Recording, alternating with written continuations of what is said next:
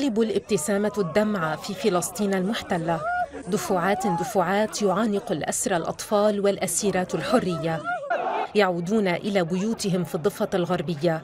هؤلاء لم تسعفهم مؤسسات حقوقية أو ينصفهم يوم طفل أو يوم مرأة عالمي.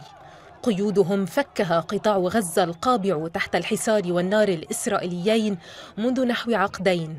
هكذا تترابط الساحات وتتكامل فعلا. وفكرة.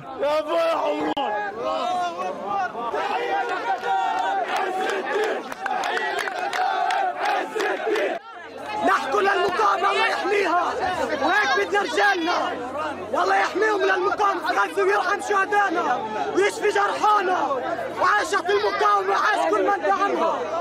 وتحيا كتائب عز الدين تتوالى الأعراس في فلسطين. أعراس شهادة وأعراس حرية.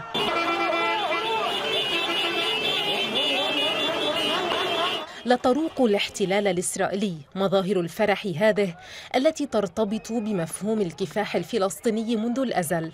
تعودت بيوتات فلسطين أن تقيم الأفراح على شرف الحرية. لا غرابة إذن أن يفرض الجيش الإسرائيلي قيودا على الاحتفالات بفك قيد الأسرى كما فعل مع ابنة القدس إسراء جعابيص الأسيرة التي اكتوت بنار الأسر على مدار سنوات تخرج أكثر عزما وثقة. أنا خجولة إني أعبط لأنه صار زلمة بس كل ما أتذكر أول كلمة يما بعود بقى بتذكر إنه هو لسه صغير بنظري. يزيح الأسرى المحررون ستار العتمة عما يجري من انتهاكات داخل معتقلات الاحتلال. ما نطلعش طول اليوم نضلنا بس نص ساعة حتى أقل من نص ساعة مرات نطلع خمس دقايق ويسكروا الفورة. كل غرفتين بيطلع نص ساعة.